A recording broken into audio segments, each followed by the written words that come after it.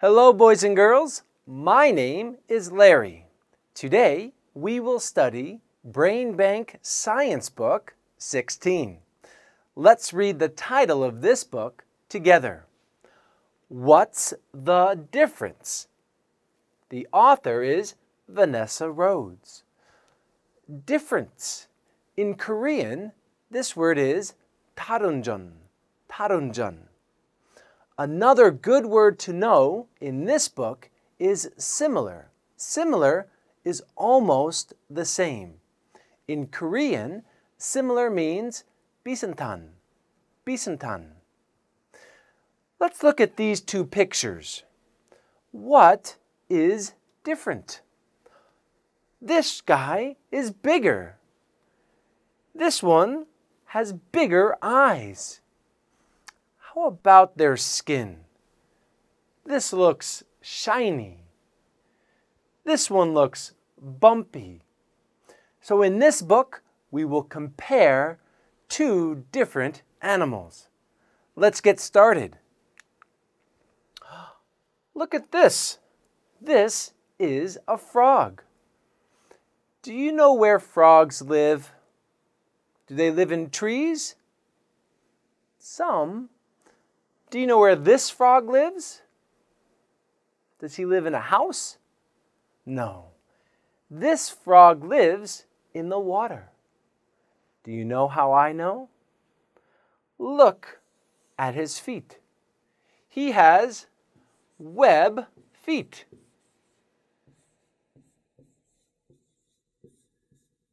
What does he use these web feet for? For swimming. That's how I know he lives in the water. Let's look at the next page. Here we have two different creatures. This one is a butterfly. Can you say butterfly? Very good. This one is a moth. Can you say moth? Moth. Very good. This one has blue colors. What color is this? Orange. Very good. Now, let's look at them more closely. This butterfly, his wings are closed, closed wings. These are called feelers. Maybe your feelers are your hands. We use our hands to touch. Butterflies use this to feel around. Look at this here. Wow. That's a very long tongue. This is my tongue. Is your tongue this long? I don't think so. Let's read together. Butterflies fly by day. Do they fly at nighttime when it's dark? No. They fly during the daytime when you're at school. Their feelers have knobs. Right here. This is what we call a knob. And they rest with their wings closed. So when a butterfly sits on a flower, their wings will be closed. Open, closed. Let's look at the moth more closely. Wow. Look at these feelers.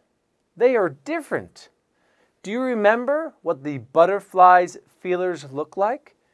They were long and they had a knob at the end.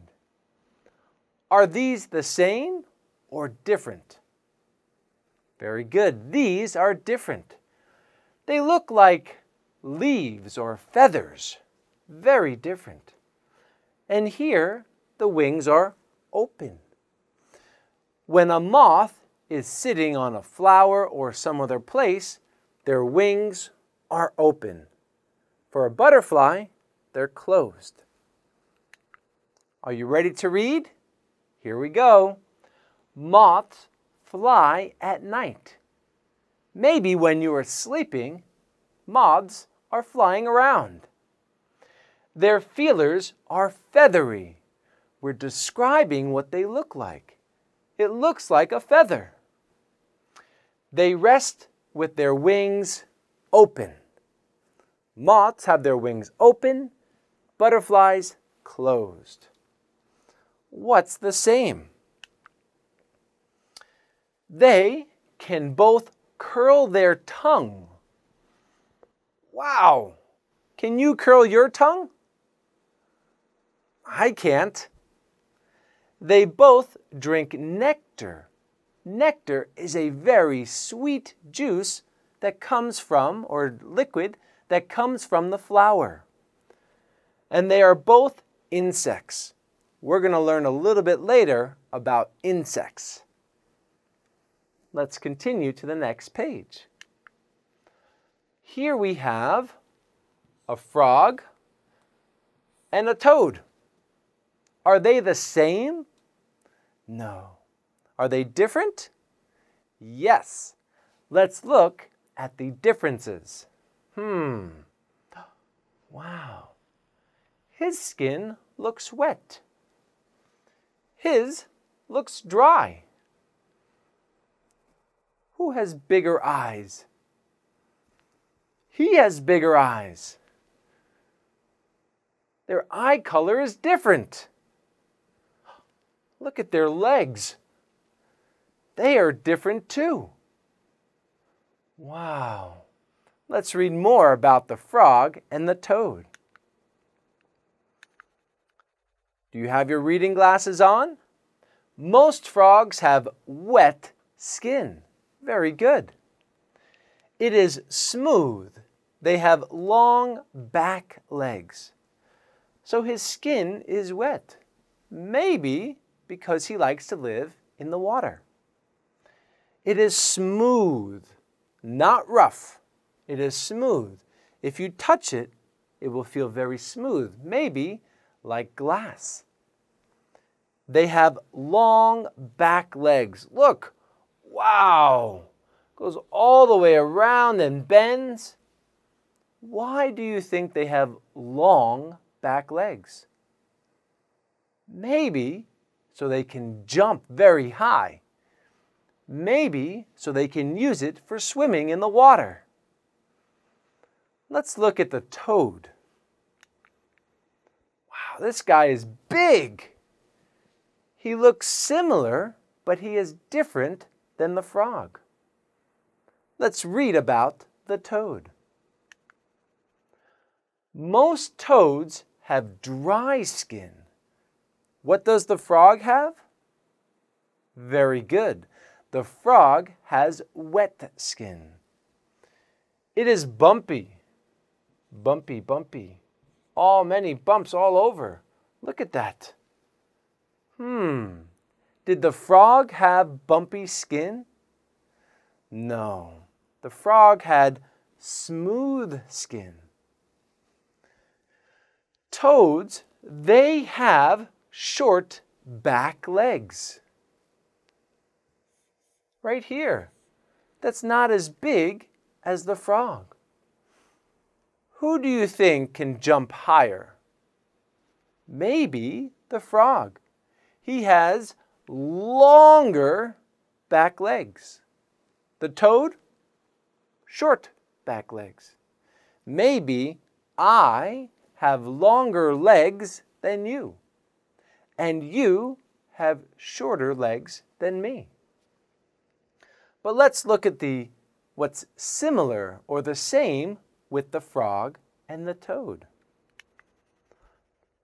They both have a long, sticky tongue. Do you remember the sticky tongue? Catching for food. They both have a long, sticky tongue for catching food. That means their tongue comes out of their mouth, and what do they catch? Pizza? No. Kimbap? No. They catch insects and they eat them. Can you stick your tongue out to catch food? I don't think so. And they are both amphibians. This is a very good word to know. Amphibians means they can live in both water or on land. Amphi, right here, means both. So frogs and toads live on both land and in water. Well, that's it for part one. I will see you very shortly for part two. We'll learn more about animals.